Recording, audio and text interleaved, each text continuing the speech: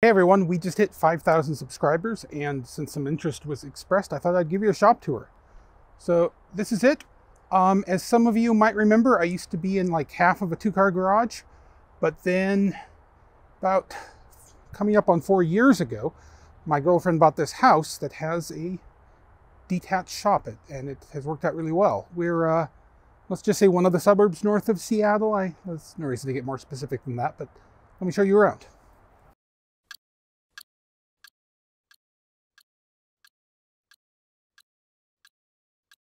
Okay, this is the outer shop. This is where I do all the, the messy stuff, grinding, welding, um, mostly those two things. So along this wall, we have this long bench I whacked together out of two by fours, nothing fancy. Um, primarily for breaking down steel metal stock coming in. So it can lie along there and then we'll have the horizontal bandsaw um, at the same height as the bench. So that makes adjusting that really easily. Uh, the sort of usually the first step on most projects is taking something out here, cutting it down to whatever length I have. Um, there's also the gantry crane, which I use on bigger projects quite a bit. Back here in the corner, we have sort of the grinding stations. So the bench grinder, the new belt sander, well, year and a half old at this point, but it still feels new. Uh, the drill sharpener, and then the media blasting cabinet. Next to those usually is my old welding table. It is a little bit small for this shop now, but um, I haven't quite felt the need to replace it really. It is nice that it can be rolled around pretty easily. And then the two MIG welders usually live right next to that. Continuing on over here past the very large fan um, is the air compressor. That was one of the first things I did moving into this shop space. I was so excited to have permanently plumbed air supply, and I certainly get my use out of it. However, um, it does cause a noticeable brownout on the circuits when it kicks in, so I usually just leave it off unless I know I'm going to be using it. But it'll hold 50 psi for quite a while, so that's fine if I'm not if I'm just using it to blow stuff off. Um, the coil of of pipes is just a uh, a cooling down section so uh, water can condense out, and I got a bit fancy with the loops. Um, next to it here is this yellow flammables cabinet. Um, and there are a lot of flammables in there, but it was kind of one of those things where once I had a big enough shop, like I had to have the yellow flammables cabinet. Um, but it's good to know they're all in there contained. These panels are for an arcade cabinet I'm building for a unfun arcade idea I had that I'm hopefully going to have time and done for Open Sauce. And yes, by the way, I will be at Open Sauce, that is confirmed. I don't know where, they haven't given booth assignments or anything like that. But if you're going there, look for me, say hi, I'd love to talk. Um, even though I'm a weird shy introvert at times, but um, I'll be turning on the energy for the crowd, hopefully. So, see you there. This is just some old shelving that came with the shop. It's not a very good use of space at all. I need to convert that into a metal rack, storage rack at some point. Um, but so far I haven't done that.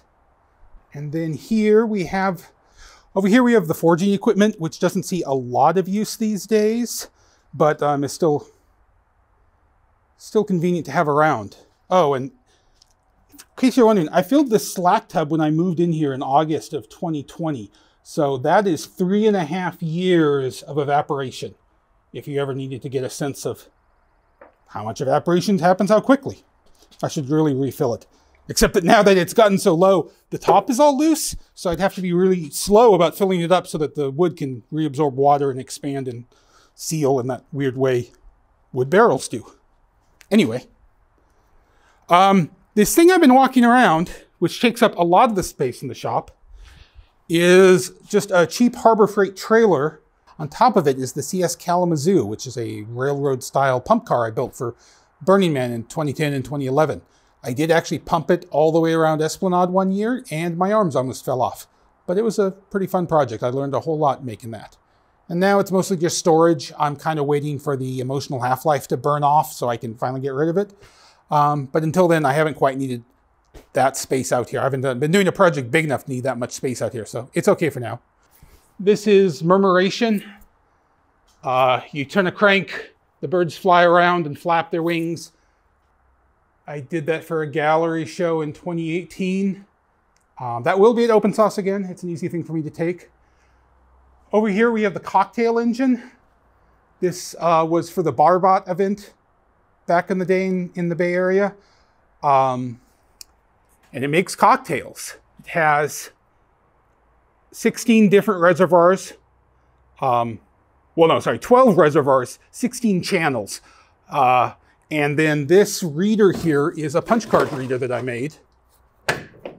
And you put a punch card in here, and if you have a hole punched in the right place, it makes an electrical contact, which triggers one of these servos to spin, which opens this valve on the other side of the chain, and it all flows down into a funnel in the middle and then down into your cup.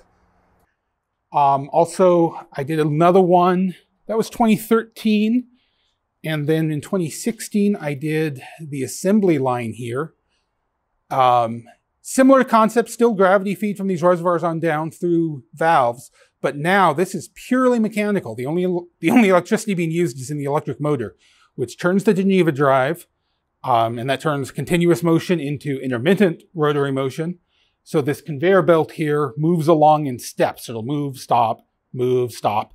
And then if there's the it has a card attached to the to the conveyor belt, and if there's a tab there, it'll open up the valve or not, and then let that ingredient pour in at that station. Needs some more refinement. It never quite got the performance I wanted from it, but um, it was a lot of fun. It's also just really heavy, and so I haven't done a lot with it ever since. But yeah, that's the outer shop, more or less.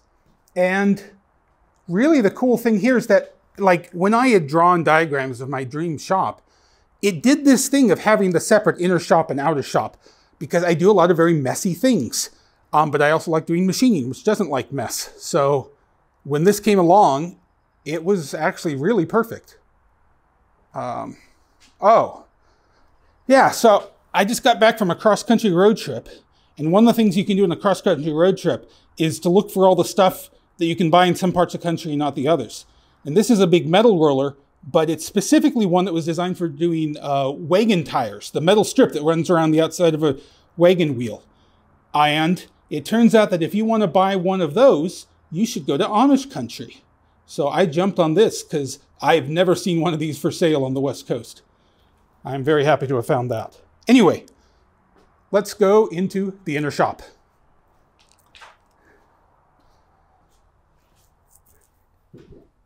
This is where I spend most of my time, um, if only because it is finished in here and insulated, not heated, but it's still considerably more pleasant in here in the depths of winter. But it's also where sort of, you know, the lathe, the mill is, the fab table where I'm working on most projects. Um, so normally I'm here working and then I'll just dip out to the outer shop to do some welding or grinding or cutting or something. So yeah, stuff. If you've watched this channel, you'll have seen a lot. My lathe, uh, 14 by 40 inch import from uh, Precision Matthews.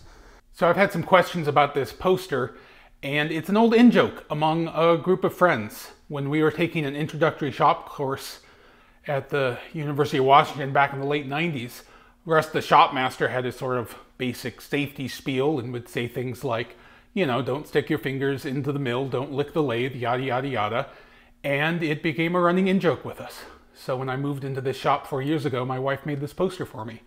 And it has pride of place by the lathe. And then my knee mill, which is basically the smallest knee mill that I could find at the time because my previous shop was so cramped.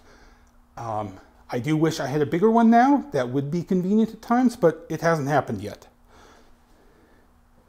Um, the old workbench, which um, I have a small drill press on. I do a lot there. Actually, it's, it's nice to have a smaller thing for more precision and more control over it. And then tap storage and drills and lots of random stuff. Over here is the fab table. There was a video about making this a couple of years ago. And with the uh, Wilton Vise, which I also did a video on restoring that when I got it. So this thing is huge and totally overkill, but Um, I wanted a big flat solid table in here and it's definitely proved useful many times over. Under it um, are the flat files, which I finally found one last fall um, for keeping old mechanical drawings in. Yeah, all those. Um, it just felt sloppy having them just pile up in the corner.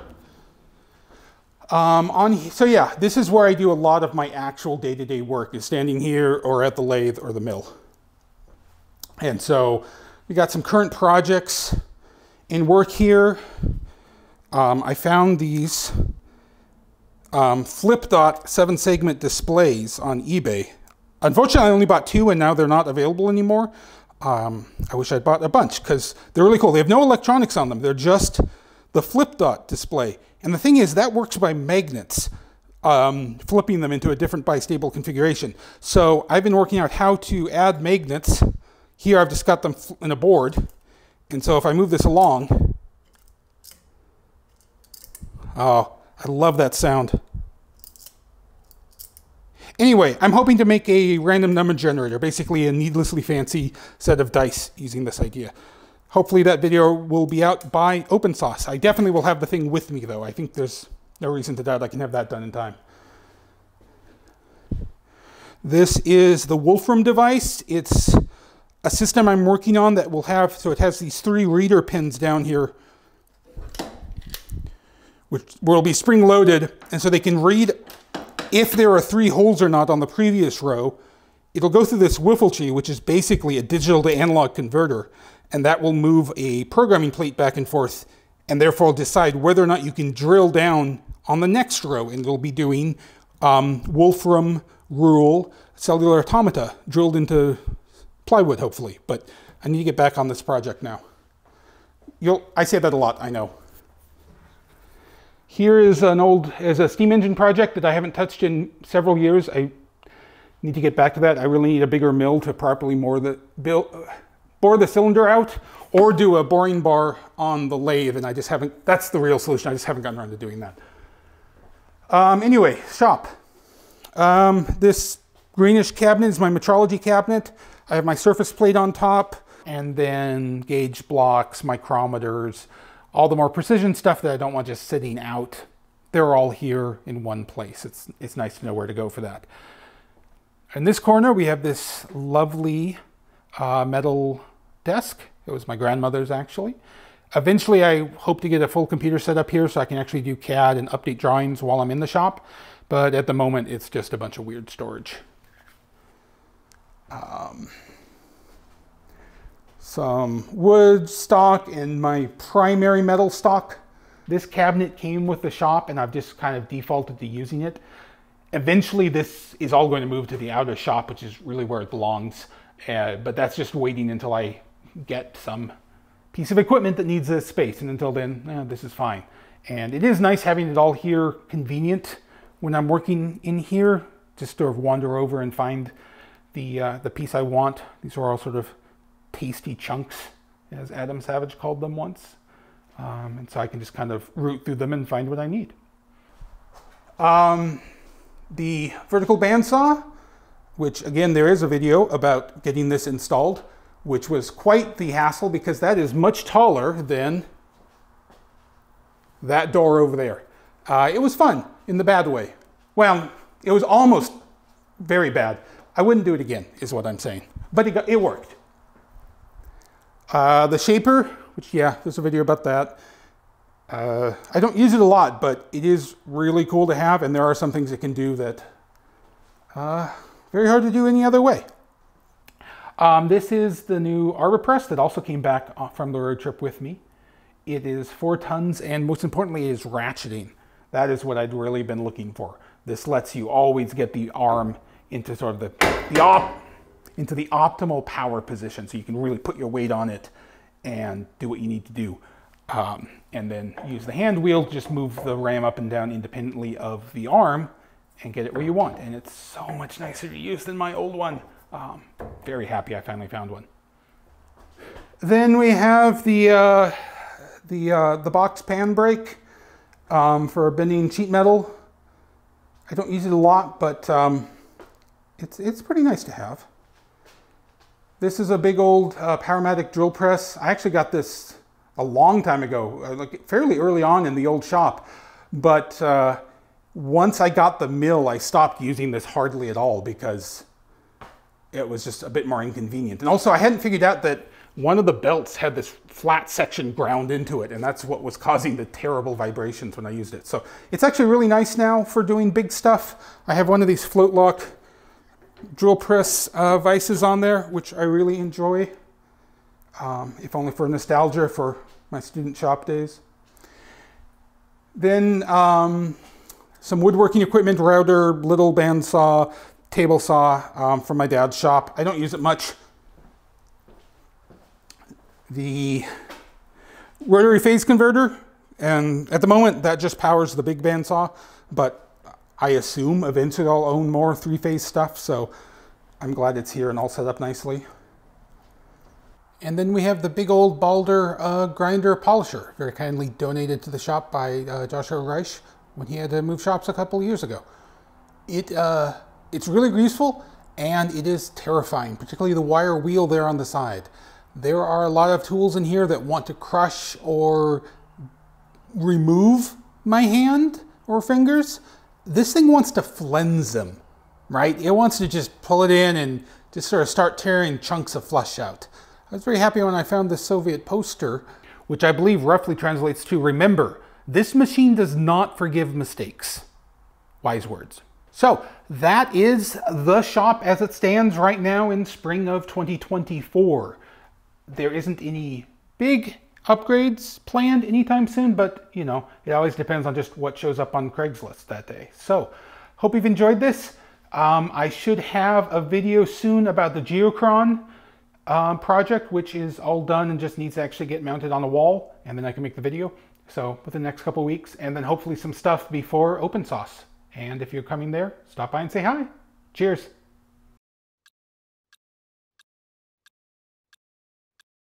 It's mostly there for cutting down large stock with the horizontal. This is hard. No, where are you going? There you go.